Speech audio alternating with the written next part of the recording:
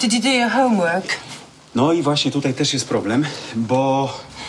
y, y, chodź, chodź, Marian. Y, nie mam, dlatego że musiałem przejrzeć dokument na posiedzenie. English, please.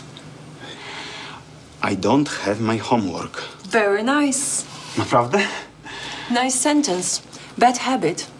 Listen, if you don't do your homework, our lessons don't make sense. See, in England, call someone a slut is a kind of a compliment. Is it? Well, in certain circles, yeah. I mean, I would never say it. no, but that's because you're a girl. So if I call my friend slut, it's nice. Yeah, I like it. No, I don't believe it. it's true. Pijany czy co? Widziałeś? Widziałem. Ale posłuchaj, te kręgi zbożowe, które układają się na polach od czasów... Jedziemy. Ciebie naprawdę nie interesuje UFO? A ciebie pijany za kółkiem. Nie wiemy, czy pijany. To się dowiemy, odpalamy. Ale ty jesteś upierdliwa.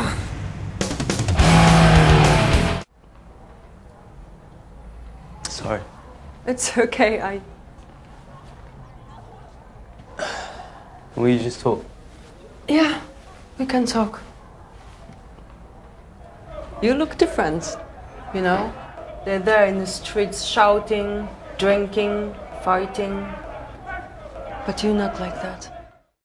No nie będziemy jeść, nie będziemy jeść, tylko nie można jeść. Pamiętacie te dziewczyny?